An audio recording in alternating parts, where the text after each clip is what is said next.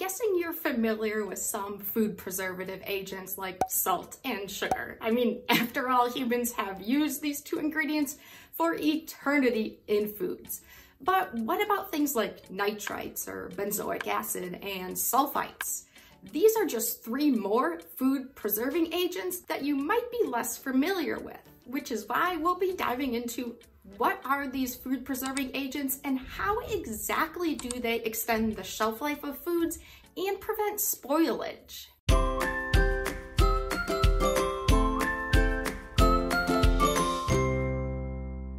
Food preservatives are ingredients added to our food with the specific job of increasing the shelf life or making sure that the food doesn't spoil when it's sitting on the grocery store shelf or sitting in your home. Now, preservatives are just one type of food additive because the term food additive is very broad. It's basically any component that becomes part of a processed food. So food additive includes preservatives, but also other ingredients like antioxidants, enzymes, colors, thickeners, and much more. By definition, preservatives are added to food to either stop or at least slow down microbial growth and therefore spoilage that might change either the taste, the texture, or some other quality of the food. So these molecules are really added to stop bacteria, yeast, and mold from growing and trying to keep the food fresh for longer.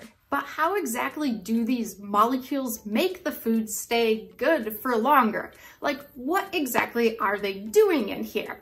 And this is what I think confuses most people. So I wanna explain the two main ways that food preservatives help preserve food. The most common way that food preservatives do their job is by controlling the water in foods.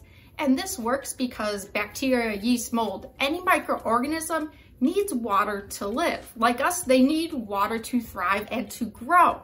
And so when we add a preservative, something like salt or sugar, these tiny molecules, these ingredients actually sort of bind a water molecule or they interact with water. And when this happens, the spoilage microorganisms cannot use that water. This limits how much these spoilage microorganisms are able to grow and sort of spoil how fast they're able to spoil the food. So controlling water by adding ingredients or preservatives that sort of bind that water, interact with the water, is one very common way that food preservatives work to extend the shelf life of food. A second way that preservatives extend shelf life is that they actually enter the microbial cell and they disrupt the microorganism's metabolism or maybe even make their cells burst open, destroying the microorganism.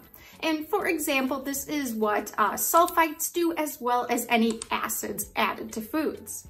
How this works is once one of these preservatives or this ingredient is added to food, these molecules, they are tiny enough, they can actually migrate into a microorganism. So they're tiny enough, they can sneak through these pores in the cell wall of uh, bacteria, say. And once enough of these little molecules have accumulated, inside the bacteria, they really aren't able to function anymore. Their metabolism is all messed up, their enzymes aren't working, and if a lot of these molecules accumulate, eventually the microorganism, whether that's a bacteria, yeast, or mold, their cells might just burst open and be destroyed. So this is another mechanism where with certain ingredients, certain preservatives, you can also extend the shelf life of foods by at least controlling the growth of these microorganisms or destroying them. If you enjoyed this video, next I would watch my full guide to food preservatives where I also include the health impacts of these types of ingredients.